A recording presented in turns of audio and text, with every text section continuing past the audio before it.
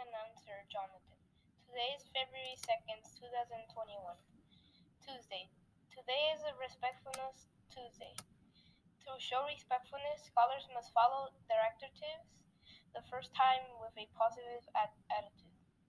Communicate clearly and accept constructive criticism. The mo- this month is February. February. February is a respectfulness month. We will be looking for scholars who follow directions the first time with a positive attitude. Schools, scholars who um, show respectfulness, communicate clearly, accept direct, um, directions, use teamwork, and show leadership. Please, please repeat the spl- pledge of the Lions with me followed by the Roosevelt motto.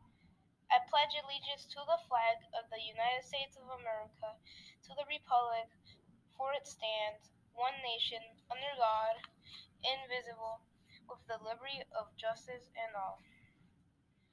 I am somebody. Now the Roosevelt motto. I am somebody. I was somebody when I came to Roosevelt. I will be a better somebody when I leave Roosevelt. I am powerful. I am strong. I deserve the education I get at Roosevelt. Things to do, people to impress, and places to go. Please remain standing for a moment of silence. Count to ten. You may be seated.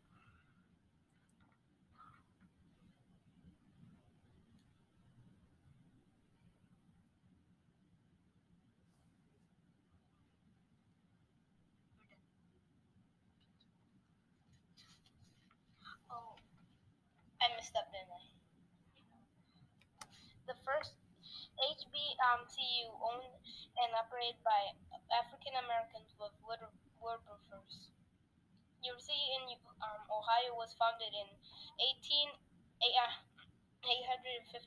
Um, it was named for William Wilberforce, who first led efforts to abolish slavery.